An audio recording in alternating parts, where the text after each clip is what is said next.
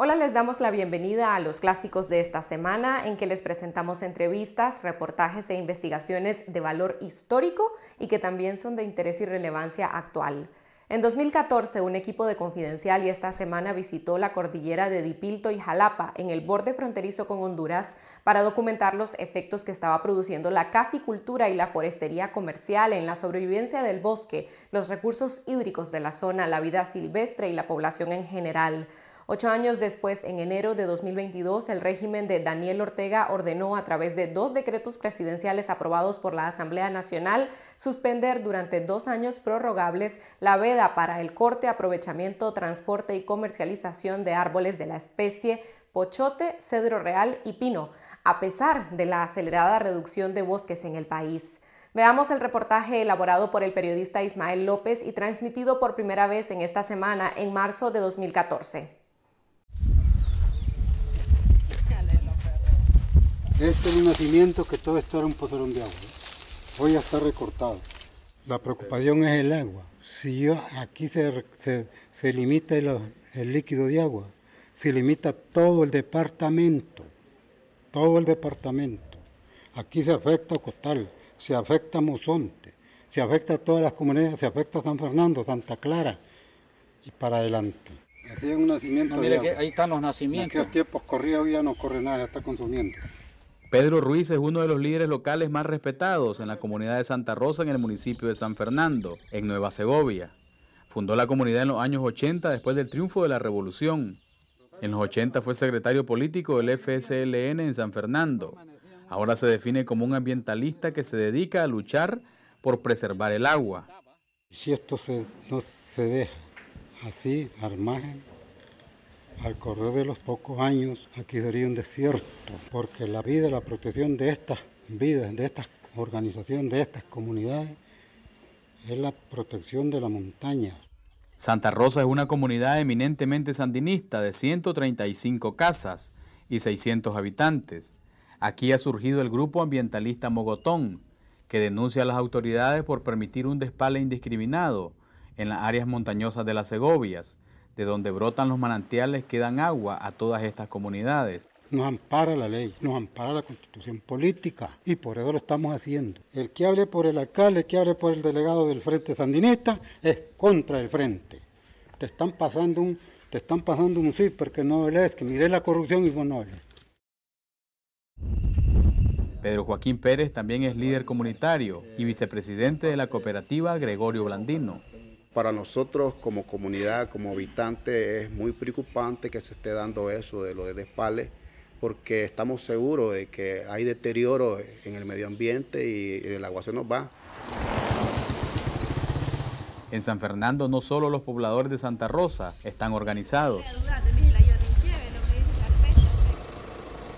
La semana pasada un equipo de esta semana, acompañado por campesinos del movimiento ambientalista Mogotón, se dirigía hacia Achuapa, donde se alimenta de agua la comunidad de Santa Rosa, pero nos encontramos con este tranque. De aquí para allá los vamos a convertir en vigilantes. Representantes de la industria maderera de Nueva Segovia impidieron el paso ante la pasividad de la policía. Silvia Castellanos es la cara visible de Maderas Segovianas, la empresa maderera más grande de la zona. Así como ustedes consiguen información, nosotros también, ¿verdad? Entonces sabemos de que viene el grupo ambientalista Mogotón, que no es la primera vez que ha hecho visitas a los sitios donde se trabaja eh, bajo, que estaba trabajando el sector, ¿verdad? Y de una manera legal. Nosotros el día de hoy nos sentimos lesionados a nuestros derechos como personas y también nuestro trabajo que tanto nos cuesta, porque nosotros trabajamos dignamente en la actividad forestal, en donde nosotros aportamos al desarrollo social, económico y ambiental. Lo que nosotros necesitamos es el agua, porque nosotros estamos beneficiados cuatro comunidades, hermano. Eso tengamos en cuenta, que hasta Salamajica y después Achuapa. Nosotros, Santa Rosa, municipio de Mozonte, hay una comunidad que también veo de este lado. Entonces, pues es la preocupación de nosotros. Y nosotros, me decía un compañero, que se, que se bajen, Hombre, pues que nosotros no tienen que hacer nada, nosotros es lo que queremos, beber agua. Nadie se escapa a decir, nadie se escapa a decir. El grupo ambientalista Mogotón, respaldado por el asesor en temas ambientales de la presidencia, Jaime Inser, sostiene que la actividad agropecuaria pone en peligro la cordillera de Ipilto-Jalapa, una extensa montaña de 43 mil manzanas de tierras. La cordillera comprende los municipios de Dipilto, Mozonte, San Fernando y Jalapa, fronterizos con Honduras en el departamento de Nueva Segovia. Fue declarada área protegida por el gobierno en 1991, cuando Inser Barquero era ministro del Marena. Podemos eh, aprovechar árboles afectados por plagas, por enfermedades, enfermos, caídos, afectados por rayos y otro sinnúmero de cosas. El sector forestal estuvo vedado de explotar los bosques en esta zona cuando en el 2006 el gobierno de Enrique Bolaños prohibió la extracción de madera a 15 kilómetros de la frontera con Honduras. Sin embargo, con la resolución 015-2008 del Marena, encontraron su oportunidad en los llamados planes de saneamiento. La palabra saneamiento es un saneamiento preventivo para que haya salubridad en los bosques. Aquí estamos todos estos bosques de pino susceptibles a los incendios que ya estamos en verano y por ende cuando vienen los incendios los debilitan y vienen las plagas y enfermedades. Esas normativas realmente ya no deben de existir en estos bosques porque aquí no hay afectaciones por incendios, aquí no tenemos afectaciones de gorgojo descortezador y esto ha sido la coartada que se ha usado para explotar madera sana en esta cordillera, ¿verdad? Y que luego básicamente esto consiste en un abuso. En Nicaragua más de 150 mil manzanas de bosque son arrasadas cada año por deforestación asociada a la tala ilegal, incendios y quemas agrícolas. Hemos visto cómo nuestra masa boscosa ha ido desapareciendo, ¿verdad? De una manera eh, eh, rápida. Un día después del tranque, las cámaras de esta semana pudieron entrar a la comunidad de Achuapa y subir al Cerro Mogotón, área protegida y también la zona más alta del país. El sector forestal insistió en que filmáramos lo que ellos llaman los bosques espesos. Para allá no se puede eh, intervenir absolutamente nada. A Juan García le fue aprobado un plan de saneamiento. Si este plan de saneamiento no, no se diera, el bosque se infestaría más de la plaga de gorgojo y se dañaría totalmente todo el bosque. Las autoridades lo aprueban con, un sinnúmero, por ejemplo, primero piden el aval de la comunidad, después el aval de la comunidad y el aval de la alcaldía, después lleva el proceso de eh, venir las autoridades como le corresponde al Marena, venir a verificar si lo que nosotros estamos diciendo es verdad y después viene el INAFOR. En esta finca aproximadamente hay 105 hectáreas. De esas 105 hectáreas, 96 son netamente de bosque. Regentes forestales pagados por los madereros son quienes elaboran los planes de saneamiento. Aquí en el estudio que hicimos hay 3.000, 30.272 árboles. De esos 32.772 árboles, nosotros este, sacamos 323 árboles apenas.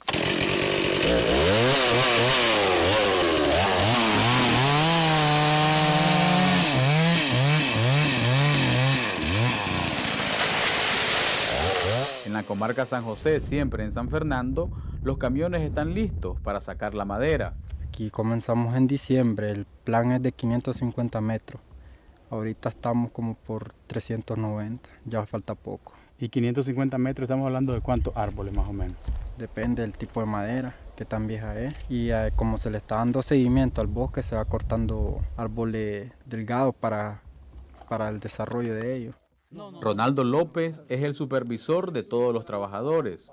Hay una normativa que dice que no se pueden cortar árboles en pendientes y allá miramos que sí hay pendientes y hay árboles caídos. ¿Dónde? Allá arriba. ¿Dónde? Allá arriba. Nosotros filmamos allá de aquel lado. Y no se trata de, que estén pendientes o no estén pendientes, sino que si ahí toca corresponder, hay un técnico y si el técnico dice este árbol ya cumplió con su trabajo, este árbol está afectando a los otros por estar muy cerca, entonces nosotros lo cortamos, pero siguiendo con órdenes del técnico. Además el delegado de, municipal del INAFOR nos viene a supervisar. El año pasado Nicaragua exportó 11 millones de dólares en madera cerrada, en bruto y procesada. Buena parte de la madera que se extrae de los bosques de Nueva Segovia llega a las instalaciones de madera segovianas. Aprovechamos la madera y vienen los camiones de madera en rollo que son las imágenes que han sacado en los medios de comunicación. Esa madera va a las aserraderos o industrias donde es procesada para madera para construcción, para muebles y para exportación. Sacamos sus productos de palillos, nasa, tampa, este, pallet o las tarimas. Y lo que le decía, pues, madera también de, de, grado, que es la madera de, de mejor calidad. Se exporta a Costa Rica, se exporta a Honduras, se exporta a El Salvador y se está exportando también a los Estados Unidos. El doctor Gonzalo Calero tiene 17 años de ser el juez local único de San Fernando y solo recuerda una acusación por tala ilegal de madera.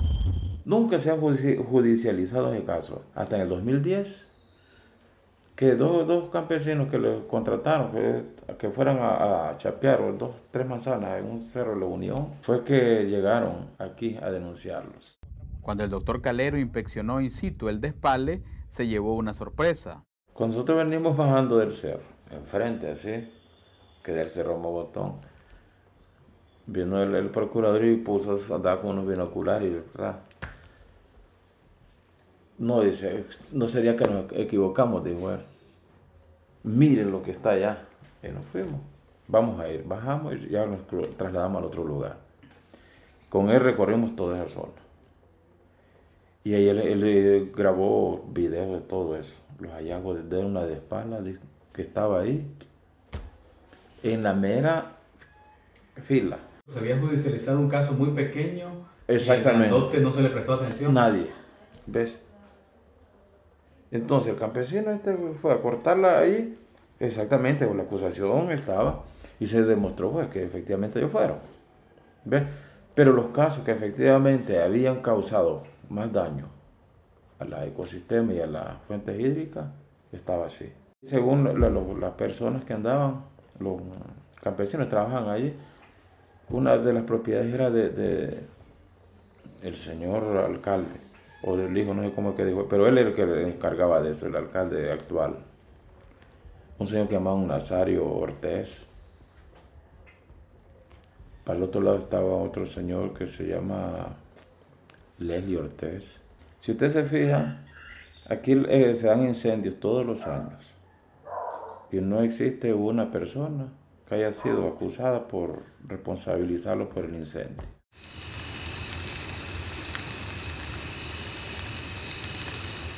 Durante el verano, incendios como estos son comunes en las Segovias. Estamos en la comunidad de los Aguacatales a apenas 300 metros del límite fronterizo con Honduras en el municipio de Mozonte. Esta es una zona de difícil acceso donde las autoridades tienen poca presencia o no tienen ninguna. Árboles centenarios como este han sido arrancados de raíz para darle paso a un nuevo cultivo, el café. Son 32 manzanas de bosques arrasadas, en una zona que según la ley de fronteras es de seguridad nacional. El productor de café, Uriel Seas, es el dueño de la propiedad trabajando, Ismael, es una zona eh, que en, la parte del campo se le dice tacotal, pues son 30 manzanas las que se están cultivando de café. Eh, Marena llegó la primera vez a visitarme, me dieron una carta donde podía cultivar esas 30 manzanas, tengo un café bajo sombra, si vos ves eh, no se ha talado ningún árbol de magnitud, pues. Sin embargo, autoridades del INAFOR niegan el permiso. Todos los cambios de uso, ninguno tienen autorización pero las áreas protegidas no los compete a nosotros verlas, sino del Ministerio del Ambiente. O sea, los usos de cambio de suelo allá no los ha autorizado el INAFOR. Nadie, ni el INAFOR ni el Marena. Eso es ilegal, son cortes ilegales y esa gente tiene procesos abiertos, hay, hay sanciones hasta de más de medio millón de, de cortos. Vemos que aquí muchos ríos, sus caudales han bajado hasta en un 40 o un 50% en los últimos 15 años. Hemos visto ríos que ya están en agonía. Jalapa es el municipio segoviano que ha sido más afectado por los embates de las sequías. Sus ríos se han ido secando a medida que los bosques desaparecieron de sus cordilleras. Aquí nosotros corremos con un fenómeno. El problema es de que se habla de la sostenibilidad del medio ambiente, pero también tenemos que jugar con la sostenibilidad de la economía de las familias jalapeñas. ¿Y qué es lo que pasa? Las leyes existen, pero muchas veces se violan. Entonces te vas a encontrar que fue la inspección que hizo este INSER y se encontró que en la parte de, la cordillera de Pilto-Jalapa existía un despale, una explotación de madera irracional que es sobre una reserva. El vicealcalde de Jalapa, Juan Alberto Molina, ha visto florecer los permisos para el corte de árboles. Se dan planes de manejo que no los damos nosotros, pero sí damos el aval para tratar de mejorar el área que te explicaba. Pero también muchas veces se te viola la norma cuando vos sabes de que estás frente o cerca de las partes de las cuencas y explotás, no solo pino, muchas veces botás maderas de color, maderas preciosas. Pero, ¿cómo nos enteramos nosotros como alcaldía? Muchas veces por la propia información, a veces de la misma comunidad. ¿Por qué? Porque nuestro territorio es uno de los territorios más grandes de, de Nicaragua. Y entonces a veces se nos hace imposible poder penetrar tal vez a una montaña lejana donde ya se está explotando. Cuando nosotros no tenemos la información, ya muchas veces se ha explotado parte de la madera de forma clandestina. Entre el 2012 y el 2013, Marena aprobó 36 planes de saneamiento en las áreas protegidas. La protección de las áreas protegidas es una responsabilidad compartida del INAFOR, Marena, el MACFOR, el Ejército y la Procuraduría General de la República aprovechamos esta oportunidad. Los campesinos de Santa Rosa le reclaman a todas las entidades del Estado, pero hasta ahora nadie lo ha escuchado. El agua se está reduciendo, tenemos problemas con el agua potable. Hay veces nos viene suficiente, hay veces no. La suspensión de veda para el corte, aprovechamiento, transporte y comercialización del pino en 2022 también incluye la explotación de esta especie en áreas protegidas. Esto ha sido catalogado por ambientalistas y ecologistas como un modelo extractivista de saqueo a los recursos forestales del país.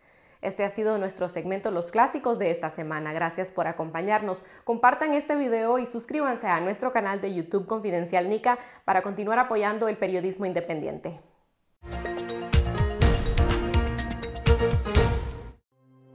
Confidencial, 25 años investigando y contando la verdad, la política, la economía y la sociedad. La aspiración de un país con democracia, prosperidad y justicia. La corrupción, la pobreza y la violencia.